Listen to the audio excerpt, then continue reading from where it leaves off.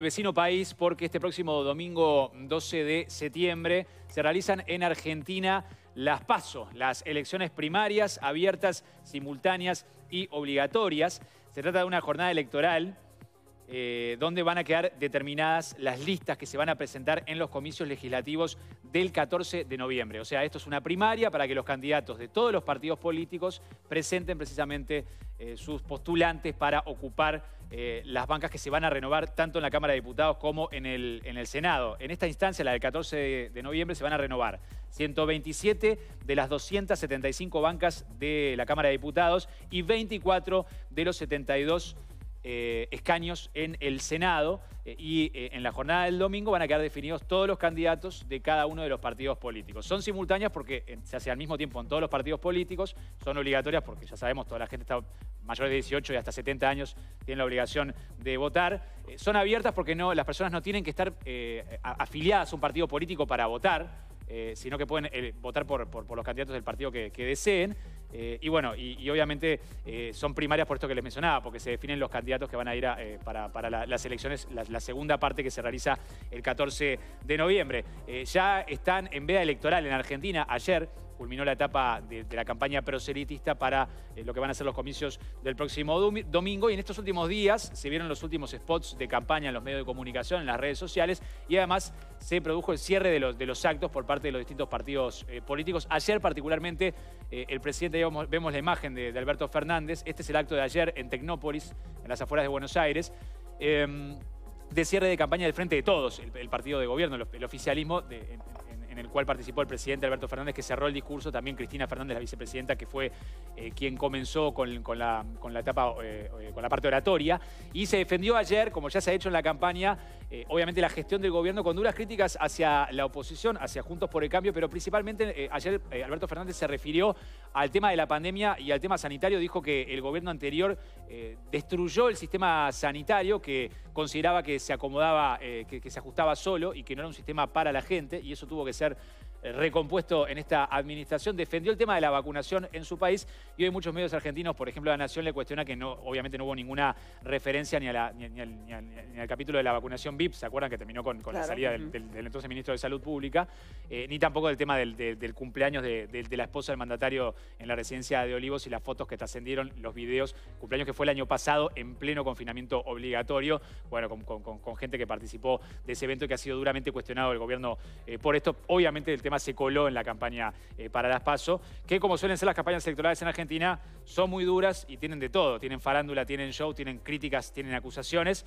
Eh, y bueno, en este caso, una participación activa, además, como siempre suele, suele pasar, del presidente de la República, porque recordemos que en Argentina no tiene vedada la participación proselitista el, presidente de, la nación argentina. Sí, al punto que está cerrando el acto. Claro, Exacto, el, principal orador del oficialismo. Bueno, además del oficialismo, también el principal sector de la oposición, Juntos por el Cambio, hizo también su último acto, en este caso fue en la zona de Palermo. Estuvo el jefe de gobierno de Buenos Aires, estuvo Horacio Rodríguez Larreta, estuvo el expresidente Mauricio Macri, María Eugenia Vidal. que la ven allí, Patricia Bullrich, Martín Lustó. Eh, decía Vidal en el acto, allí la ven cuando estaba hablando, decía, este domingo decirles basta y decirles no. No les des más poder porque ya sabes lo que hacen con el poder cuando se lo das. Decirle no a la burla, a la estafa, al atropello, eran palabras de Eugenia Vidal. Pero vamos a repasar ahora los principales cierres de campaña que despertaron polémica en Argentina y llegaron acá porque más que principales, diría los más... Eh, bueno, claro, no son los principales. No diría los principales. O sea, yo, lo que diría es, antes de los recomendados de Paula, la producción armó unos recomendados de los spots de campaña argentina, que, que, se vio de todo, y armó un ranking de este, cinco de los spots que más llamaron la atención. Vamos a arrancar con el número 5, que titularon Los nietos de Tolosa Paz. Estamos hablando de la precandidata a diputados de, por el Frente de Todos, Victoria Tolosa Paz, que tiene 48 años, está en campaña eh, en Buenos Aires y lanzó días atrás su último spot. En el video se, hizo famosa por anunciar que con el, peronismo no, no, falta el sexo, digamos. No lo dijo de esta manera, ¿no? Con eso. en, otros términos. En otros términos un poco más grosero, Exacto. Bueno, en este video, en este spot, ella se presenta como eh, mamá de tres hijos y uno del corazón. Y tras ello afirma que tiene una cantidad importante de nietos y dio para hablar, vamos a escuchar. Soy Victoria Tolosa Paz, mamá de tres hijos y uno del corazón. Y aunque algunos no lo crean, tengo 16 nietos. Bueno, 16 Y vos, nietos. Nico, Seis y vos, nietos. sí, Una seis cantidad nietos tiene importante. Este, Tolosa Paz. ante esa afirmación, las redes sociales se llenaron de memes. Entre ellos hubo un tuit del ex jefe de gabinete, Aníbal Fernández, quien compartió una publicación en su cuenta de Twitter. Y en el video, Tolosa Paz nombra sin respirar a cada uno de los 16 nietos e incluso se olvida del nombre de alguno de ellos. ¿Creo que tenés 16, 17 nietos? 16. ¿16 nietos? Sí. ¿Po- ¿Podemos hacer los nombres de tus nietos sin respirar? ¡A la puta madre! Maceo, Lucio, Ulises, Iñaki, Bauti, Benjamín, Joaquina, Lola, Juana, Francisquito, eh, Jazmín, ay, Jazmín, Jaime, Blas, Pedro y Ramón y Joaquín, 16. Impresionante. Los quiero mucho. Es nada nuevo, ¿no? Pero cómo lo- lo- los políticos argentinos no tienen ningún problema en, en- en utilizar cualquier tipo de término al aire, ¿no? En una, en una entrevista televisiva, cualquier, cualquier palabra, o sea, no, no, no escapa de- de- del uso de, los políticos. no- hay, hay cero cuidado en el tema de cómo se comunica ¿no? a, la, a la población. Y me quedé pensando, pobre el nieto olvidado, ¿no? Alguno de los nietos que se olvidó este, la, la candidata. No son verdaderos nietos, hay que aclarar. ¿no? Bueno, son, este, no son nietos naturales, sí, en realidad son este, nietos de su marido, que es Enrique Albistur, que tiene siete hijos en, en relaciones anteriores y, y de ahí surge la, la- la cantidad de, de nietos. Vamos con el número cuatro, elegido por la producción, que titularon La Santileta. Eh, estamos hablando en realidad de uh, uno de los competidores, si se quiere, no, del mismo partido, pero sí este, por, oficialismo y oposición, competidores de Victoria Tolosa Paz. Estamos hablando del diputado nacional Santiago Santilli, que es del sector Juntos, eh, Diego, perdón, Diego Santilli, del sector Juntos, del PRO, eh, que promocionó la Santileta, que es este, una Volkswagen, una combi de 1990, junto al jefe de gobierno porteño, Horacio Rodríguez Larreta, y en un video que difundió en la red social TikTok, Larreta acompaña a sus candidatos en la presentación del, del vehículo con el que pretendía recorrer la provincia de Buenos Aires. Vamos a verlo. Subite a la Santileta, venite conmigo a toda la provincia. ¿Ya te subiste a la Santileta? Yo me subí. Vamos a buscar a los que quieran vivir una provincia mejor.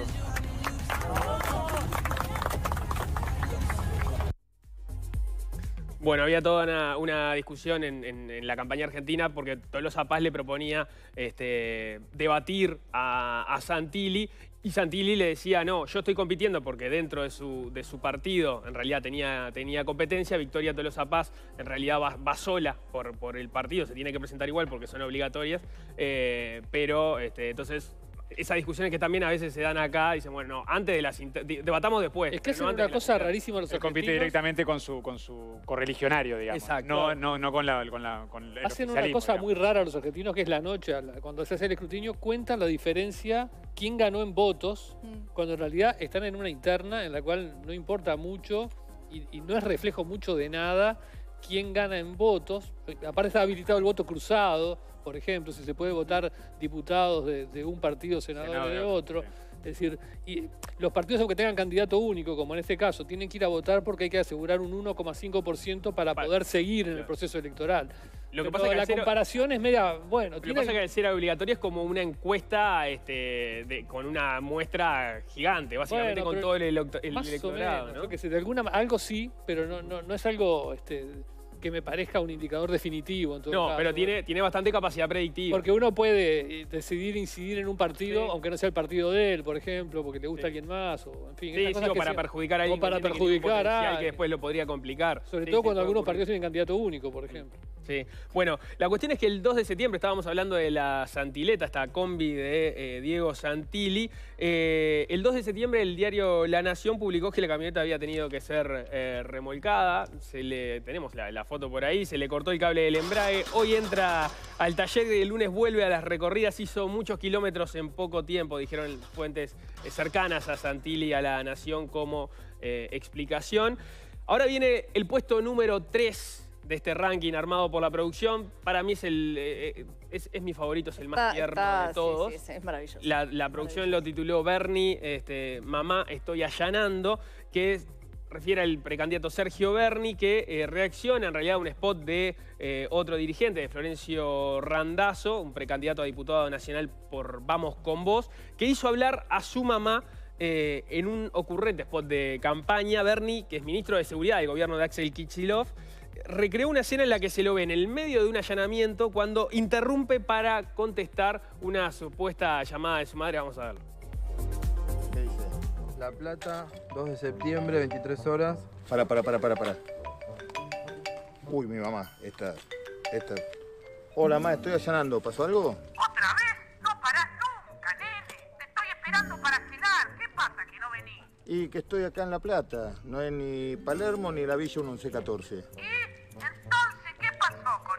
Y la estoy tratando de llamar a la Leona para que me explique qué hacer. No sé si patear la puerta o pedir disculpas. La verdad que tengo una confusión ya a esta altura. Mirá, querido, después de la paliza que le pegó Axel, la leona como la cenicienta se convirtió en gatito y salió corriendo para la capital. Flor de quilombo nos dejó con la Pará, deuda pará, la pará, provincia. mamá, pará, pará, no putié, no putié. Pareces a la mamá de... Mirá, querido, decirle a esta señora que los argentinos de pelotudo no tenemos nada. Tendré 86 años, pero tengo memoria y por eso hacé lo que sabes hacer, patea esa puerta, sacale la droga, metelo preso y vení a cenar que se enfría la comida. Y además quédate bien tranquilo, que acá en el barrio todos van a meter la boleta de Victoria y Agustina. Dale, metele, te espero. Ahí voy para allá. Rompe, metele.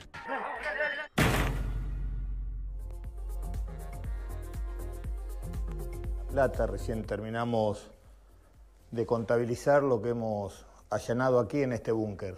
Y la verdad que quiero mandar un mensaje muy respetuoso a usted, señora Vidal. La verdad que lo que haga de su vida privada le importa muy poco a todos, pero sí que hay un problema. ¿Sabe por qué? Porque esta marihuana y todo lo que está acá está manchada de sangre para que usted la consuma relajada y tranquila. Se comercializó con menores que mamaron desde chiquito la violencia como un método de vida. Por eso hay que tener mucho cuidado cuando se habla y ser respetuoso de las víctimas del narcotráfico. Porque sí, el narcotráfico mata, la droga mata, pero la mentira, Bueno, como, como queda explícito sobre el final de- del spot. eh, Cuestionamiento de declaraciones que había hecho Vidal. ¿no? Exacto, las referencias a la Leona son a, a María Eugenia Ahora- Vidal, ex, go- Ex gobernadora de Buenos Aires. de Por la de manera de hablar de la mamá de, de Bernie, me parece que él también mamó la violencia un poco de, de chiquito. Puede ser. Puede ser. Porque Ahora- tenía una manera bastante confrontativa la señora. Mamá, ¿eh? estoy allanando, debe ser la mejor frase de la campaña argentina, sin duda. Es una gran frase. Las críticas a, a María Eugenia Vidal venían porque ella había dicho eh, en, un- en un- esta aparición, una publicación que hizo en sus redes sociales, en TikTok concretamente, que dijo, una cosa es fumarte un porro en Palermo, relajado, con amigos, un sábado a la noche, y otra es vivir en Villa 2124 o La Zabaleta rodeada de narcos y que te ofrezcan un porro. Eh, para esos pibes la marihuana no es un consumo ocasional de recreo, de recreo y plenamente elegido, es parte del inicio de un camino mucho más jodido y duro, es lo que había dicho Vidal. Sí, y lo dijo en una entrevista también en televisión, parte de, de las redes sociales. y despertó esa- esas críticas este, por parte de Bernie. Vamos con el número 2, que tenemos a Guillermo Moreno en un spot que la producción tituló Asado y Pechito. Estamos hablando del precandidato por el partido Principios y Valores, que lanzó un nuevo spot de campaña, campaña en el que utilizó eh, la melodía del jingle de Marolio, pero con letra propia. Eh, al video, el partido al que pertenece el ex secretario de Comercio del Kirchnerismo lo tituló Moreno le da Perón a tu vida y no solo hace referencia al peronismo, sino también a gustos o costumbres propias de los argentinos, como el asado, el vinito, las medialunas o el mate. Vamos a ver. Moreno, le da Perón a tu vida. Moreno vota y que vuelva la alegría. Mate, café, asado y pechito. Yerba media luna, pescado y vinito. Calla ni baja la cabeza. Vuelve el peronismo, el pueblo festeja. Moreno, le da Perón a tu vida. Moreno vota y que vuelva la alegría. Moreno diputado. Lista 314A. Bajísimo presupuesto la, la campaña de Moreno, ¿no? Sí, no, no, no asocio la, la- la melodía. Quizás la frase de Moreno no le da pena a tu vida, sí la asocio a Moreno. Moreno. Pero no, no me lo imagino un tipo que es capaz de poner un arma arriba de una mesa de negociación, ¿no? No, como, terri- como- terrible, como ha trascendido. Bueno, y vamos con el que la producción eligió como el número uno de este ranking. Este capaz que sí se lo cruzaron porque dio mucho que hablar. Cintia Fernández, la vedette, artista argentina, lanzó un video musical a modo de cierre de eh, campaña para las PASO. En la filmación se la ve bailando tango con saco de traje y medias de red con portaliga frente al Congreso de la Nación. Eh, un adelanto del spot fue presentado esta semana en el programa Los Ángeles de la Mañana, en donde Fernández trabaja como panelista y la aspirante a legisladora interpretó una coreografía al ritmo de la versión de tango Se dice de mí, de Tita Merelo.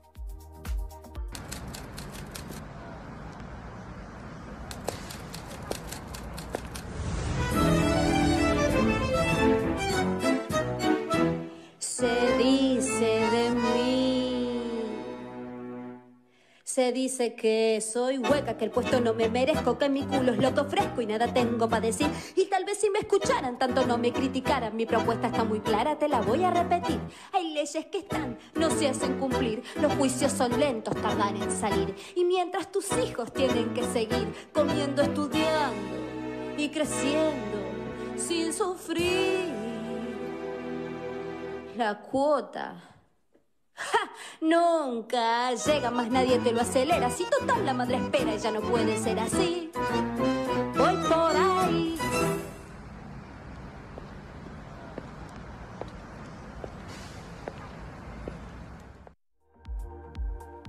La campaña argentina, no mucho más para decir. Vamos a meternos